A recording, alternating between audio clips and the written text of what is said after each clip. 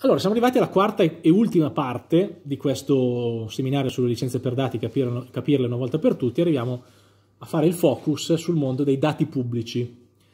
Allora, spesso quando si parla di open data si dà per scontato che si parli di dati pubblici, in realtà non è vero, cioè il mondo della, della pubblica amministrazione è sicuramente quello in cui si è aperto il dibattito, in virtù di quel concetto di open government, di trasparenza, per cui la pubblica amministrazione dovrebbe il più possibile essere trasparente, essere un, no, una casa di vetro in cui il cittadino può verificare anche attraverso l'analisi di dati se la pubblica amministrazione sta, facendo, sta compiendo bene la sua missione. Ok? Un tema che è molto più sentito nei paesi anglosassoni rispetto che da noi, dove appunto c'è una, una, una, percezione diversa del, del, della pubblica amministrazione, ma ripeto, andiamo su temi che sono più di, di, di, di scienza politica che di diritto. Ehm, e poi parleremo del, del, del, cosiddetto principio open by default, che è molto interessante. Allora, innanzitutto, giusto una panoramica di come funziona il diritto d'autore degli enti pubblici. Il diritto d'autore, cioè gli enti pubblici hanno un diritto d'autore, lo dice la legge. In realtà ci dice, in questo articolo 5, la legge dice che non hanno un diritto però sui, sui testi degli atti ufficiali. Ok, quindi è molto restrittiva eh, come, come, norma, cioè vedete che dice testi degli atti ufficiali dello Stato e delle pubbliche, delle pubbliche amministrazioni. Vuol dire che in pubblico dominio sono solamente i testi, ovvero il testo della delibera del sindaco che chiude le scuole, no? cioè il giornale che vuole pubblicare il testo della delibera del sindaco che, chiude le scuole non deve chiedere il copyright, non deve chiedere una licenza al, al sindaco o al segretario comunale per poter esporre questo testo perché è un testo ufficiale, quindi viene, viene liberamente, diventa pubblicamente e liberamente distribuibile da tutti. Se io devo citare una sentenza, ad esempio io avvocato faccio un parere oppure, fa, oppure faccio un articolo su questi argomenti e devo citare una sentenza del Consiglio di Stato che ha deciso su questi temi e cito magari anche 10 righe, 50 righe, una parte molto, eh, molto densa di questa sentenza, non devo chiedere il permesso ok? Perché la sentenza è una sentenza, un atto, diciamo, ufficiale, pubblico. Um, però l'articolo 11 ci dice che al di là, al di fuori di quel caso del testo degli atti ufficiali, le pubbliche amministrazioni hanno un diritto d'autore, quindi alle amministrazioni dello Stato, alle province e ai comuni spetta il diritto d'autore sulle opere create e pubblicate sotto il loro nome e a loro conto e spese. Quindi non è che vi venga in mente domani di andare sul sito del, del, del, del, Politecnico di Torino o dell'Università Statale di Milano o del comune di, di, eh, di Asti a prelevare tutto quello che c'è, foto, testi, perché tanto sono del comune. No, non è che così. Solo il testo degli atti ufficiali, su tutto il resto c'è diritto d'autore. Quindi le norme sono solo apparentemente in contraddizione e poi, tra l'altro, l'interpretazione dell'articolo 5 da parte della giurisprudenza e della dottrina giuridica è sempre stata molto restrittiva, quindi solo i testi degli atti ufficiali. E qua ci sarebbe da aprire un capitolo, perché un informatico mi potrebbe dire, ma un dataset è comunque un testo. Se io te lo metto fuori in CSV, è un, tecnicamente è un txt diviso da, da delle virgole, no? Poi vabbè, avrete da sindacare, ecco esatto, vedo già delle facce brutte.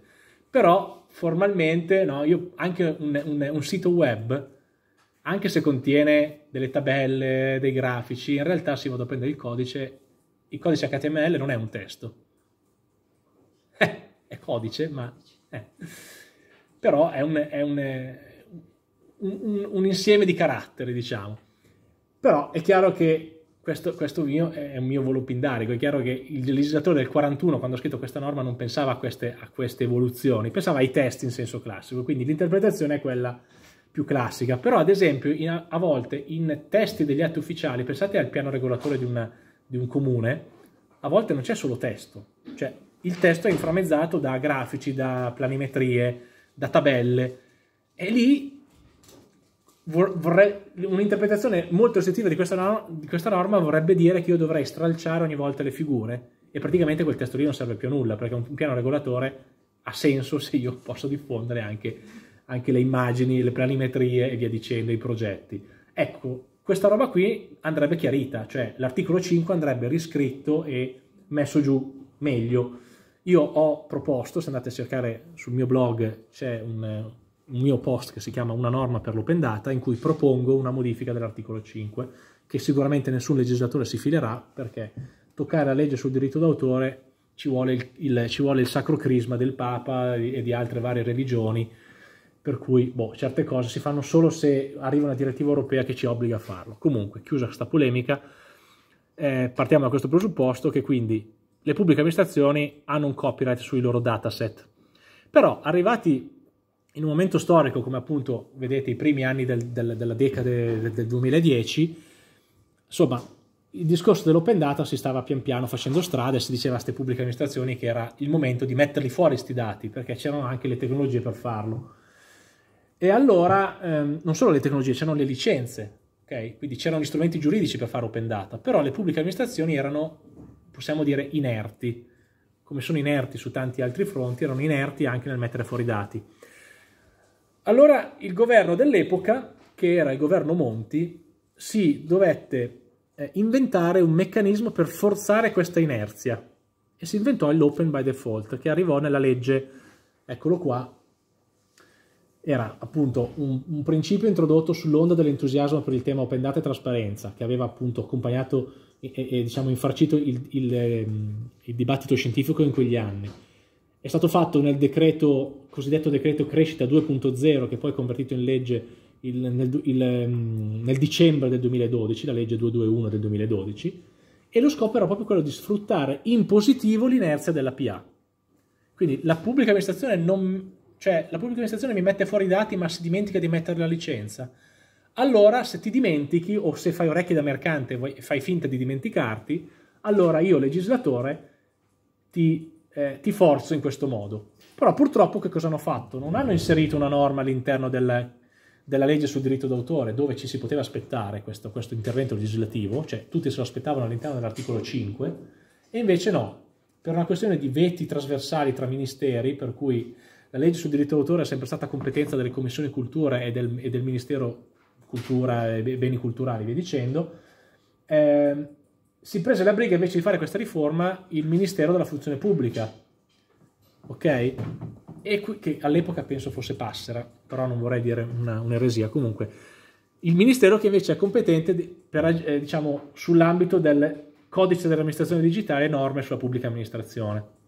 E infatti la norma fu inserita nel codice dell'amministrazione digitale, ovvero il decreto legislativo 82 del 2005, questo che vedete qua, chiamato più comunemente CAD, CAD non nel senso degli, di, di, voi ingegneri e, e, e architetti, ma di codice amministrazione digitale e fu fatto nell'articolo 52 che si intitola Accesso telematico e riutilizzo dei dati. Quindi questa è la norma italiana dell'open data, potremmo dire.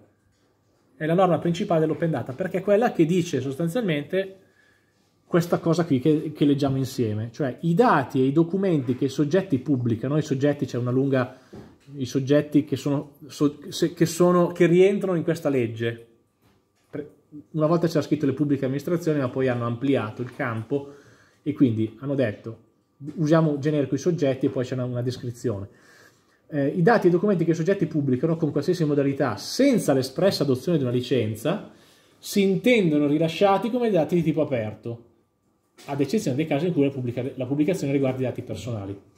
Quindi, rimaniamo un attimo sulla parte rossa, sul si intendono. Eccolo il by default, cioè se tu, pubblica amministrazione, ti dimentichi di mettere la licenza, io, legislatore, dico che i cittadini possono far finta che la licenza ci sia. Cioè possono utilizzare il dato come se la licenza sia stata esposta. Ok? Come se la licenza fosse stata esposta, scusate la consecuzio un po' svizzera. Ehm, e non da poco l'ultima, l'ultima aggiunta, cioè ad eccezione dei casi in cui la pubblicazione riguarda i dati personali.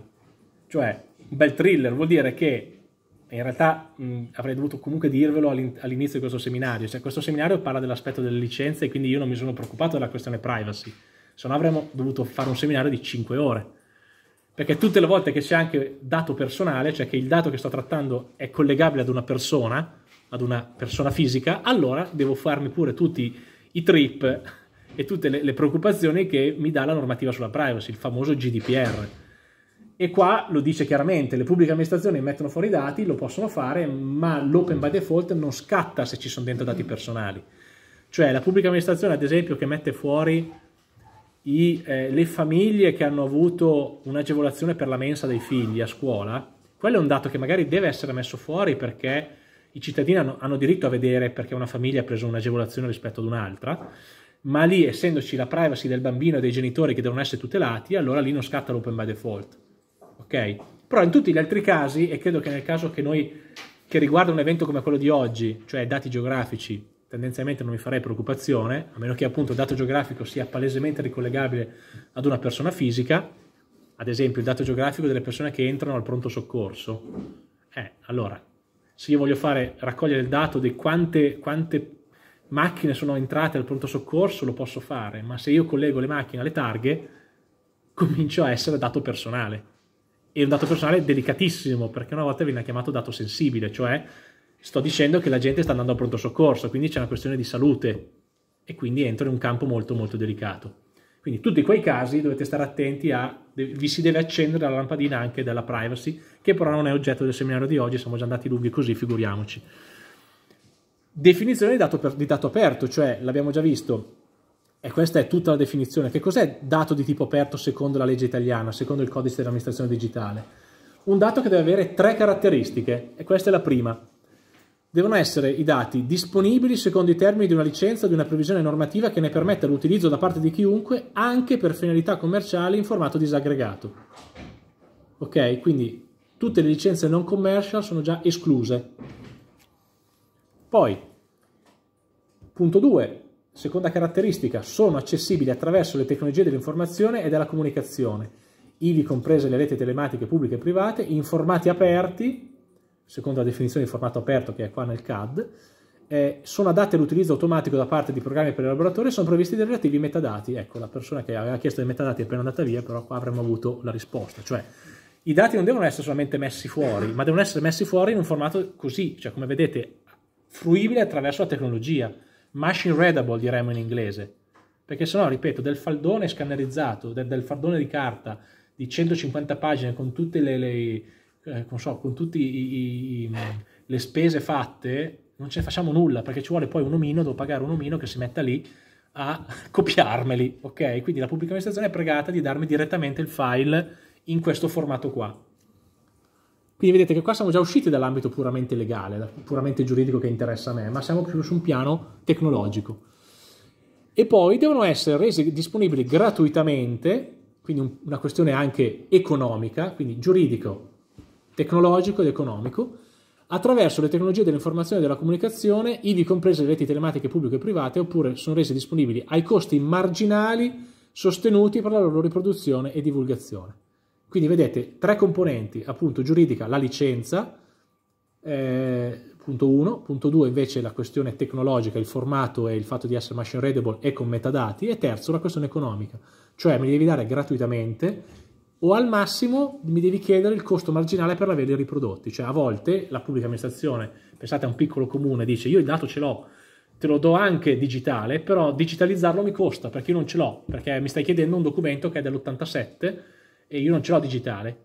Quindi te lo do digitale, ma tu mi devi pagare il costo per la digitalizzazione questo è, come dire, comprensibile, perché sennò ricadrebbe sulle pubbliche amministrazioni, soprattutto quelle piccole, un costo che loro non possono sostenere. Infine, l'anno dopo, cambio di governo, ehm, ci fu il cosiddetto decreto trasparenza, è stato il primo eh, diciamo, atto normativo importante del ministro Madia, era ehm, appunto un, un, decreto che spingeva molto nella direzione della trasparenza pubblica e aggiungeva delle norme che rafforzavano l'open by default. Perché? Cosa succedeva?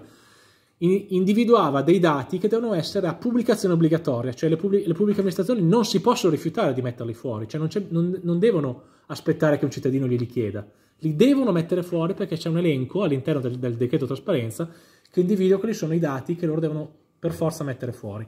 E non solo, hanno stabilito le sanzioni per i dirigenti, perché? Perché si erano già accorti anche in quel semplice anno che era passato che l'inerzia continuava, perché? Perché i dirigenti non avevano una sanzione, una penalizzazione di carriera se non mettevano fuori i dati. E loro dicevano, ma sì, la legge dice che dovrei metterli fuori, ma tanto se anche non li metto fuori non mi fanno nulla, e allora continuavano nella loro inerzia. Ecco che col decreto trasparenza è stata, eh, eh, come dire, rafforzata la direzione verso l'open data verso la trasparenza.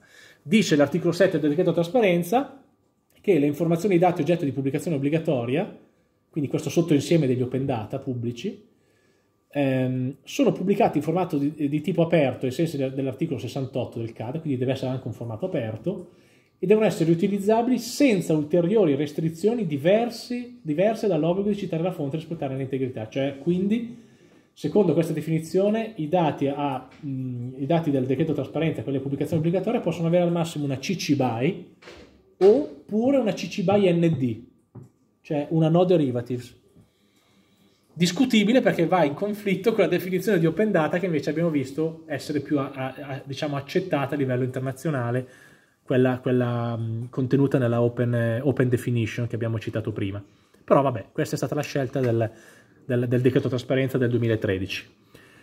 Le linee guida sull'open data sono uscite pochi anni dopo, le linee guida come sapete sono, non sono una legge, sono delle linee guida. Cioè, è vero che sono emesse dal Ministero e quindi hanno una, dire, un, un, forte valore eh, persuasivo, perché se l'ha detto il Ministero vuol dire che quella è la strada da seguire, però non hanno un valore puramente, eh, diciamo, eh, pienamente normativo. Le linee guida dell'Agit sull'open data, il tema delle licenze, al capitolo 8 ci dice questo, che si vuole ribadire nel, nelle linee guida l'importanza di associare ai dati pubblici una licenza aperta che consente di rispettare i requisiti di interoperabilità anche transfrontaliera e di massimo riutilizzo dei dati. Cioè, cosa vuol dire interoperabilità transfrontaliera? cioè non limitandosi a, selezionare una licenza che sia valida e nota entro i confini nazionali, ma quindi una licenza che sia conosciuta. Quindi è stato il modo per dire alla IODL di, di starsene fuori dal gioco. Cioè, se tutti gli stati continuano a utilizzarsi delle licenze nazionali, poi sappia, sa, siamo sicuri che i nostri dati non usciranno mai dai nostri confini. Ma visto che in quel, in quel periodo era anche arrivata una direttiva europea, la cosiddetta PSI, Public Sector Information, che adesso è arrivata già alla sua terza versione, eh, i dati devono almeno uscire in ambito europeo, quindi se io, metto, io pubblico amministrazione italiana, anche se sono un comune o una provincia o una regione o un ASL, devo ragionare nell'ottica di scegliere una licenza che anche in Austria o in Francia possano riconoscere e capire, perché sennò non usciamo vivi. E allora sostanzialmente ci stanno dicendo di usare o una Creative Commons CC BY o una Creative Commons CC BY, oppure al massimo una Creative Commons CC BY. Ok? 4.0 lo do per scontato. E, ehm, infatti, come vedete, nella pagina successiva, nella slide successiva, c'è l'altro estratto della linea guida che dice in generale si consiglia l'uso di una CC bias, di una, scusate, di una, di una licenza CC BY 4.0. Cioè non, non, ne usciamo tanto, cioè se vogliamo arrivare a fare open data vero e non creare continuamente scocciature e problemi di compatibilità, quella è l'unica soluzione. Oppure, e io continuo a insistere, la caldeggio, il CC0, cioè la, la, scelta ancora più radicale, cioè togliersi il problema radicalmente perché tanto le pubbliche amministrazioni quei dati li devono comunque mettere fuori, sono obbligate a farlo per legge, quindi non c'è nemmeno un rilevante investimento per, per fare quel tipo di attività, cioè il mettere fuori gli orari degli autobus eh, in un comune non è un'attività che fa per una questione di investimento, ma perché lo deve fare per forza, è una sua mission, istituzionale. Ok? Quindi insisto in questa direzione. Co come vi ho detto, arrivo, scusa così chiudo, vi rilascio, vi rimando a queste mie lezioni su il, il, ehm, quello che avevo fatto per Regione Lombardia sul licensing dei dati e sul, sui diritti sui dati e soprattutto delle letture.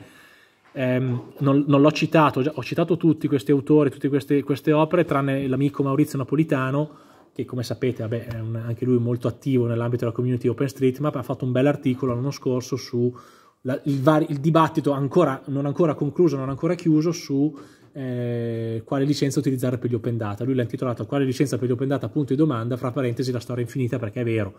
Leggete il suo articolo ed è fatto molto bene, fa capire come non se ne esce mai vivi perché da ogni parte c'è qualche forma di incompatibilità. E poi c'è un recentissimo articolo di Carlo Piana, quindi non è, nel, non è stato trattato nel libro che vi ho citato, nel suo libro che vi ho citato perché è proprio di due settimane fa, è un articolo sul caso di Trenitalia. Quest'estate Trenitalia ha fatto causa a a una società, una piccola startup che fa l'app Trenit, che è una, un'applicazione che permette di monitorare il traffico e i ritardi dei treni, proprio facendo leva sul diritto sui generis e c'è una sentenza che, che Carlo ha commentato molto bene, è un articolo un, un po' difficile da, da, da, leggere perché è molto giuridichese, molto legalese, però vi, vi invito a leggerlo. Vi ricordo che le mie slide sono sotto licenza CC BY SA, su, su un'opera come la mia, una CC by SA invece funziona bene, e le trovate sul mio slash share. Spero di aver contribuito a comprendere finalmente questo argomento per i secoli dei secoli a venire. Grazie.